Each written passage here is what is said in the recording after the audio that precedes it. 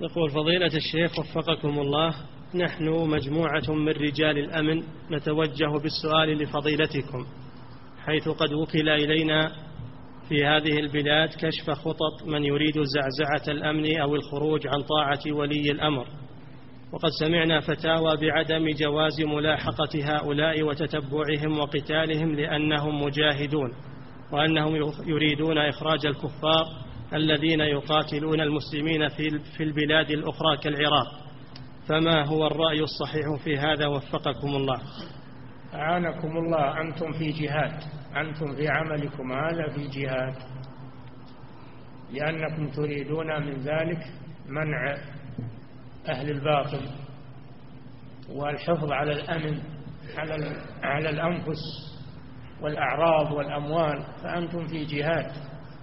أعانكم الله ويكتب لكم أجر المجاهدين وفي طاعة لولي أمر المسلمين.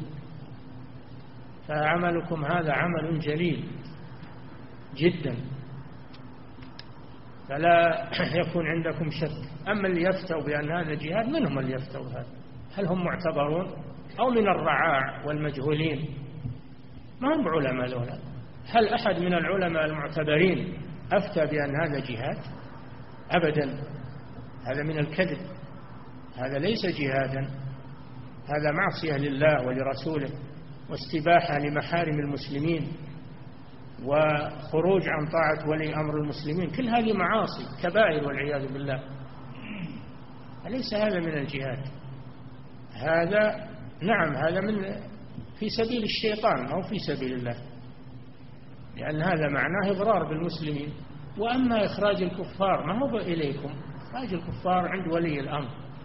هو اللي يعطيهم الأمان ويدخلهم لمصالح يحتاجون إليها ويطلعهم إذا انتهت مدتهم. والرسول يقول أخرجوا اليهود من جزيرة العرب هذا خطاب لولاة الأمور. ولذلك لم يخرجهم إلا عمر رضي الله عنه. ما أخرجهم الناس. فاللي يخرج الكفار هو ولي الأمر واللي يدخلهم هو ولي الأمر. من صلاحيات ولي الأمر. وهم ما جو إلا نحن جبناهم لمصالحنا ما جو غزاة. جاءوا مستدعون للقيام بأعمال إما سفارات وإما شركات وإما المسلمون جابوهم للمصالح. وقد أخذوا الأمان والعهد. بالدخول والنبي صلى الله عليه وسلم يقول من قتل معاهدا لم يرح رائحة الجنة. رواه البخاري. وإن ريحها ليوجد من سبعين سنة. هذا وعيد شديد. فاللي يفتي بأن هذا جهاد هذا ليس بعالم. إما أنه عالم ضلال إن كان عنده علم وإما أنه جاهل مركب لا يدري ما هو الجهاد. في سبيل الله. نعم.